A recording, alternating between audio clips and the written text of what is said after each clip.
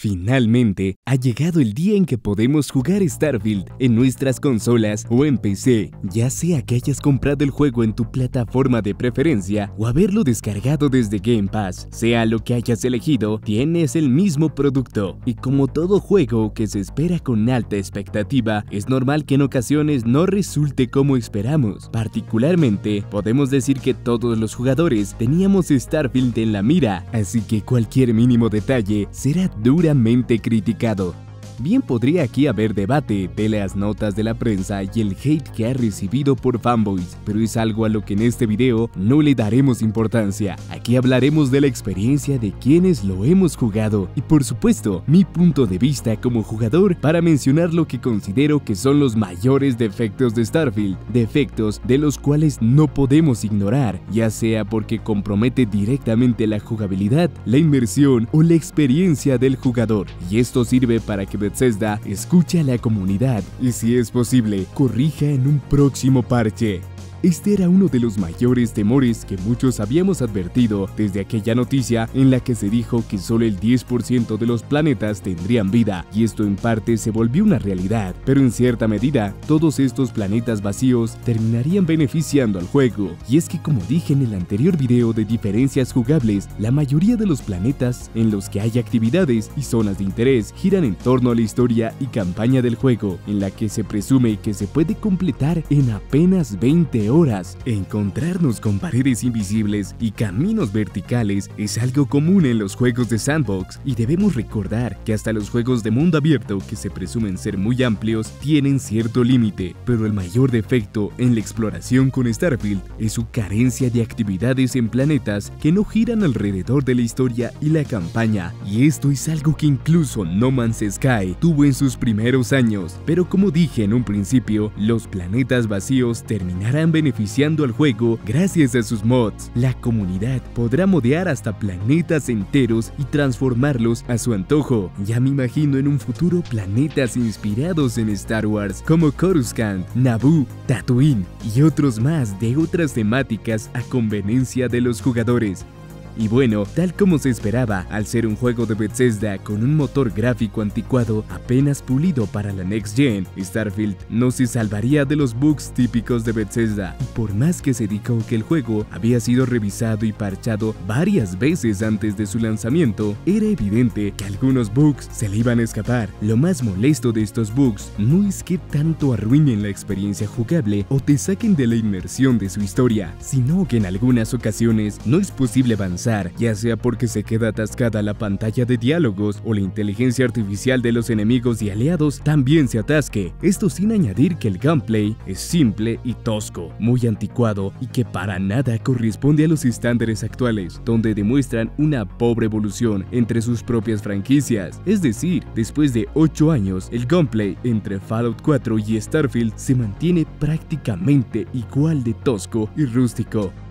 Por mi parte, esta era una de las mayores preocupaciones que tenía con Starfield en PC. En anteriores videos de este canal mencioné que Bethesda lanza juegos mal optimizados y al día de hoy ni Fallout 4 y New Vegas cuentan con una buena optimización para los gráficos que maneja y ahora está sucediendo lo mismo con Starfield, donde en equipos con tarjetas gráficas RTX 4090 apenas puedes ejecutarlo a 60 FPS, incluso en una RTX 4080 la resolución se tiene que bajar a 1440p para disfrutarlo con una buena tasa de frames.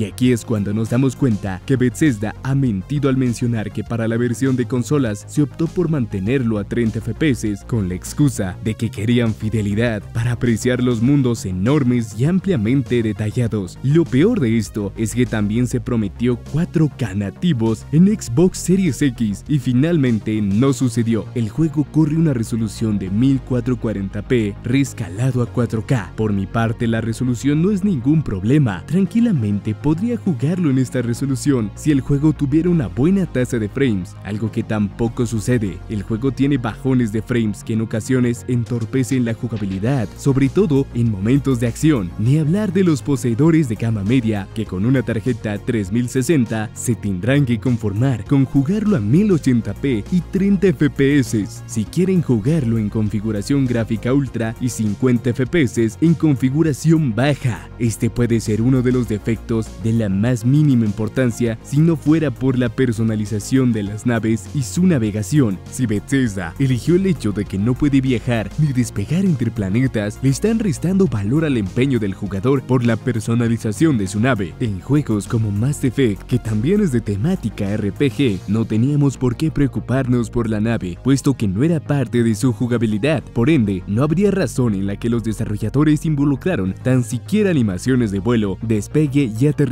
incluso en No Man's Sky, donde no se puede personalizar la nave, sino que simplemente se compran las que están disponibles. Puedes aterrizar en distintos planetas en tiempo real, pero en Starfield, donde el jugador se involucra de lleno con la tripulación y administración de su nave, un fallo de este tipo nos saca un poco de la inmersión, además de las múltiples pantallas de carga al momento de abordar planetas, donde solo tienes acceso a zonas, y al salir de la atmósfera también hay pantallas de carga, y se puede dar como excusa que sería aburrido y tedioso viajar entre planetas en tiempo real, debido a la distancia, y en parte puede ser verdad, pero Bethesda debió haberse apoyado en otros títulos de ciencia ficción como Star Wars, Halo y No Man's Sky, los cuales usan el salto hiperespacial para conectarse entre regiones galácticas, y si se buscaba ser realista y verosímil, esto tampoco tenía por qué ser una limitante, bastaría sustentarse por múltiples teorías para ejecutarlas en el videojuego.